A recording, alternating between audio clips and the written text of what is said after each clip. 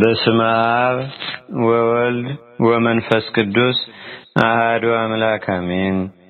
አንድ አምላክ በሆነ በአብ በወልድ በመንፈስ ቅዱስ ስም ነሐሴ አስራ ስምንት በዚህች ቀን ቁጥሩ ከአባቶች ሊቃነ ጳጳሳት ጋር የሆነ የእስክንድርያ ሀገር ሊቀ ጳጳሳት ቅዱስ አባት አባ ለእስክንድሮስ አረፈ። ይህም አባት ከአሪዎስ ወገኖች ብዙ ችግሮች ደርሶበታል። እርሱ ከወገኖቹ ጋር ሆኖ አሪዎስን አውግዞ ከቤተ ክርስቲያን አሳዶት ነበርና በታላቁ ንጉሥ ቆስጠንጢኖስ ዘመን በኒቂያ 318 አባቶች ሊቃውንት አሪዎስን በጉባኤ አውግዘው ከቤተ ክርስቲያን ለይተው ባሳደዱት ጊዜም ነው።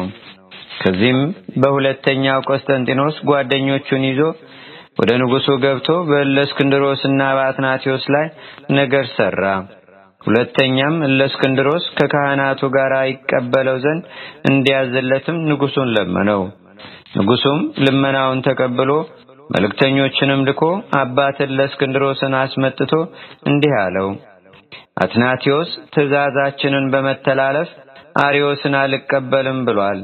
እኛም አንተን እንዳከበርንህ አንተ ታውቃለህ።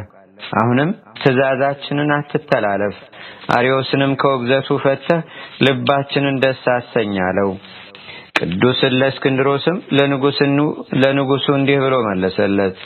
አሪዮስን እኮን ቤተ ክርስቲያን አልተቀበለችውም፣ ልዩ ሶስትነትን አያመልክምና ንጉስም አይደለም። እርሱ በስሉስ ቅዱስ ያምናል እንጂ ያምናል እንጂ አለው።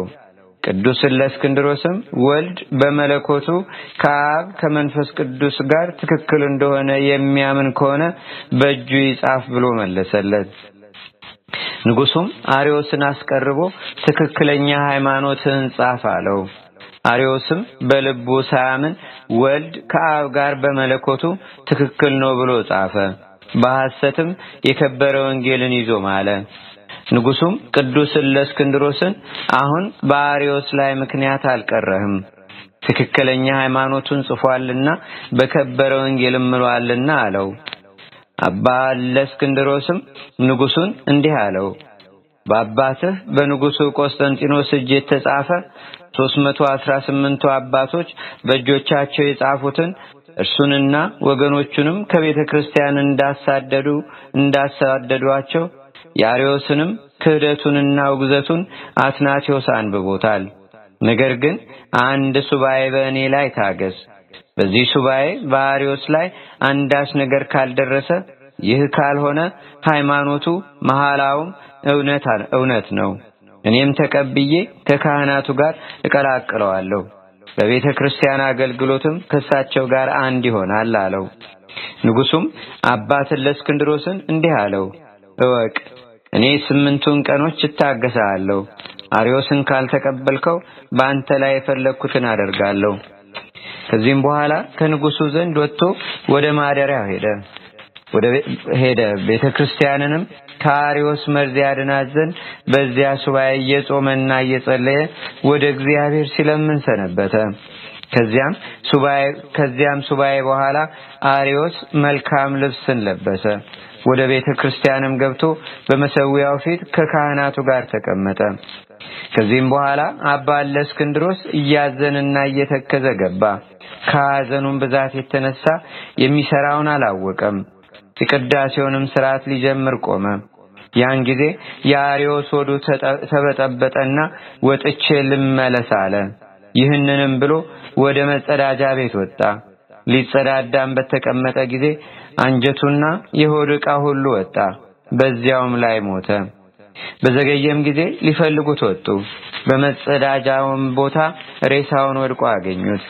ለዚህም አባት ለእስክንድሮስ ነገሩት። እርሱም አደነቀ። የከበረች ቤተ ክርስቲያኑን ያልጣላት ምስጉን የሆነ ክርስቶስንም አመሰገነው። ንጉሱም በሰማ ጊዜ አደነቀ። ከሃዲ አርዮስም በሐሰት እንደማለና በሽንገላ እንደጻፈም አወቀ። የዚህንም አባት የእለእስክንድሮስን ቅድስናውን እውነተኛነቱንም ሃይማኖቱንም የቀናች ሃይማኖቱም የቀናች መሆኗን የአርዮስንም ሐሰተኛነቱን ከሃዲነቱን ተረዳ። አንድ የሆነ አብ ወልድ መንፈስ ቅዱስንም አመሰገነው። መለኮታቸውም አንድ እንደሆነ ታመነ። ይህም አባት በበጎ ሥራ ጸንቶ ኖረ። ለምለም ወደሆነ እርግናም ደርሶ ወደ ወደደው ክርስቶስ ሄደ። የሕይወት አክሊልንም አገኘ። ለእግዚአብሔርም ምስጋና ይሁን። እኛንም በዚህ አባት ጸሎት ይማረን፣ በረከቱም በአገራችን በኢትዮጵያ በሕዝበ ክርስቲያኑ ሁሉ ላይ ለዘላለሙ አድሮ ይኑር፣ አሜን። ሰላም ለከ እለእስክንድሮስ ስዩም በብሬትከ ዘወረደ ኃይለ አርያም ለአሬዎስ ውቁይ በሰይፈ መርገም እስከ ይተርፈ ሎቱም በላነዳ ወአዝ ንዋየ ውስጡ ተክወ ከመጸፋ ዘላይ በዝችም ቀን የዲያቆን እንድራኒቆስ መታሰቢያው ነው። እግዚአብሔርም በጸሎቱ ይማረን፣ በረከቱም በአገራችን በኢትዮጵያ በሕዝበ ክርስቲያኑ ሁሉ ላይ ለዘላለሙ አድሮ ይኑር፣ አሜን። እንደ አምላክ በሆነ በአብ በወልድ በመንፈስ ቅዱስ ስም ነሐሴ አስራ ዘጠኝ በዚህች ቀን ሳስዊር ከሚባል አገር ወደ አስቄትስ ገዳም የታላቁ አባ መቃርስ የሥጋው ፍልሰት ሆነ። በዚህችም ቀን የአልዓዛር ልጅ የፊናስ መታሰቢያው ነው።